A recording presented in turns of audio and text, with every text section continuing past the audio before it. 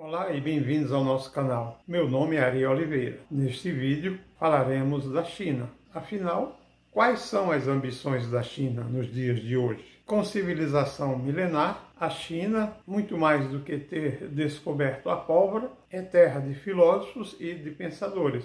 Já ouvimos falar do famoso Confúcio, grande pensador chinês, que, entre outras coisas, dizia o governante deveria ser um exemplo moral para o povo e governar com benevolência e justiça. Lao Tse ou Lao Tzu, filósofo fundador do taoísmo, entre muitos ensinamentos deixados, dizia que amar profundamente alguém nos dá força e ser amado profundamente por alguém nos dá coragem. Porém, a história da China moderna começa no século XX. Em 1911 ocorreu a Revolução Qinghai, que pôs fim à última dinastia que governava a China há séculos, a dinastia Qing, formada pelo povo Manchu, oriundo do nordeste da Manchúria. A queda da dinastia Qing foi levada às telas do cinema num belo filme cujo título é O Último Imperador. O imperador em questão era Pu Yi, o qual fora obrigado a abdicar do trono aos seis anos de idade. Com a queda da dinastia, assumiu o governo provisório uma figura emblemática para a China, Sun Yat-sen. Sun Yat-sen, inclusive, é reconhecido como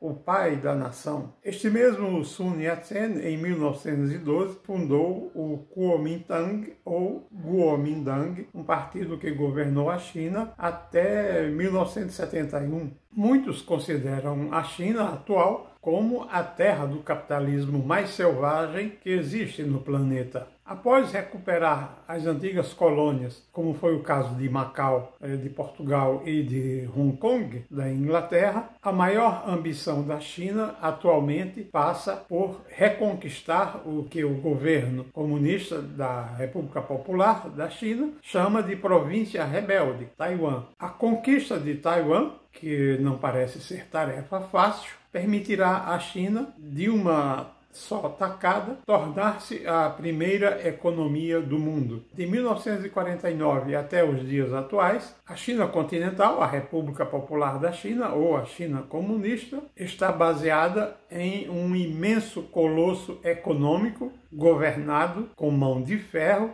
por um partido único, o Partido Comunista Chinês. Este governo de um partido único, autoritário e forte, é o modelo que a China pensa exportar, não só para seus vizinhos, como para a América Latina, a África e outros países. Com muito dinheiro no caixa, o governo chinês projeta-se como uma potência sem limites chegando inclusive a curvar seu antigo aliado e até de certa forma inimigo, a Rússia de Vladimir Putin. Como se sabe, os russos, sob o regime da União Soviética, chegaram por momento a apoiar o Kuomintang, mesmo sendo contra os comunistas chineses. Esta relação de desconfiança durou até pouco tempo atrás, quando Vladimir Putin, o ditador russo, veio a Pequim para selar uma amizade que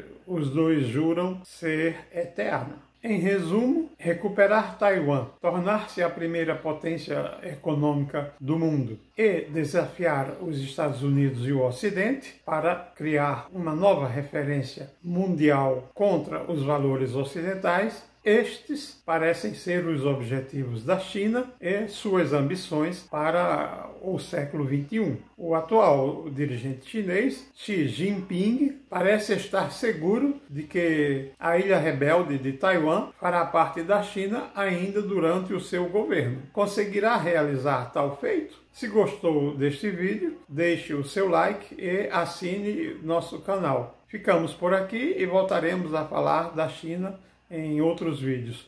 Muito obrigado e até lá!